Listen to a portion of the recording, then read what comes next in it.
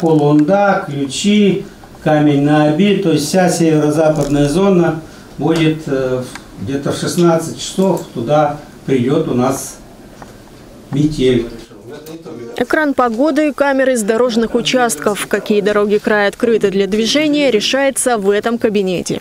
Если наступает действительно критический момент, мы выставляем на сайт э, информацию о закрытии автомобильной дороги, время начала, то также мы информацию передаем в МЧС и информацию передаем в ГИБДД. Ежедневно на дорогах края работает тысячи единиц техники. Скоро их станет на 39 больше. В ближайший месяц Алтай накроют снегопады, бороться с которыми помогают жители. Частник заключил контракт с нашим БСУ, он там живет, фирма получает средства, те, которые мы платим ему, и очищает, содержит дороги. Такая история. История то, что нам помогает фермера, когда аномальная ситуация, она имеет место быть, но это нормально.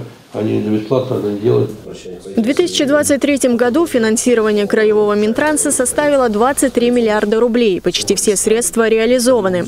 На федеральных трассах с повышенным риском аварий установят еще 50 комплексов фото-видеофиксации. За год ДТП в регионе стало меньше на 7%, а погибших на 20%.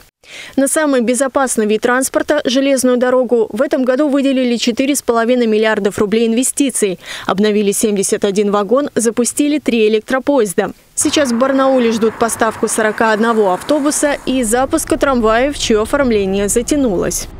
В составе поставки были еще запасные части и то оборудование, которое необходимо для обслуживания новых трамваев. Для чего это делается? Единицы совершенно новые, они конструктивно от, э, разительно отличаются от тех существующих. Учитывая, что партия сложная, э, трамваи не приобретались ни разу также. Стоимость больше более 700 миллионов, сами понимаете, наше внимание, чтобы никаких ошибок при этом не возникло.